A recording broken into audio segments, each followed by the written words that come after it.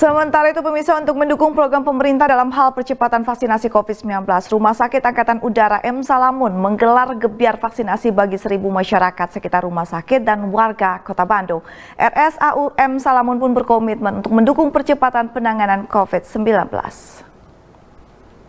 Rumah Sakit Angkatan Udara M. Salamun menggelar kegiatan gebiar vaksin bagi seribu masyarakat sekitar rumah sakit dan warga kota Bandung yang belum berkesempatan mendapatkan vaksin COVID-19.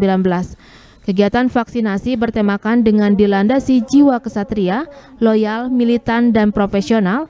RSCAU M. Salamun siap mendukung percepatan penanganan COVID-19 digelar dalam rangka hari ulang tahun Rumah Sakit Angkatan Udara M. Salamun ke-60 serta masih dalam rangka memperingati Hari Ulang Tahun Republik Indonesia ke-76.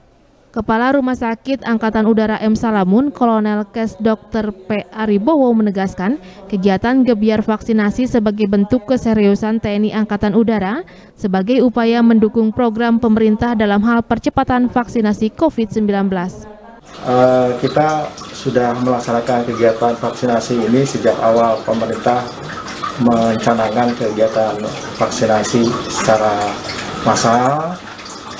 Sejak kalau tidak salah bulan Februari ya awalnya itu kita laksanakan terhadap uh, nakes kita kemudian terhadap masyarakat. Itu kalau tidak salah jumlahnya sekitar 90.000 orang. Kemudian kita melaksanakan serbuan vaksinasi pada bulan Juli dan bulan Agustus Nah itu setiap harinya 300 orang dengan target 10.000 orang.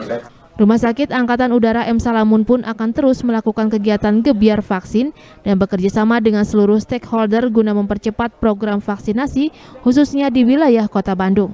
Sehingga target pemerintah sebanyak 70% persen masyarakat Indonesia telah divaksin pada akhir 2021 dapat tercapai. Yuana Kurniawan, Bandung TV.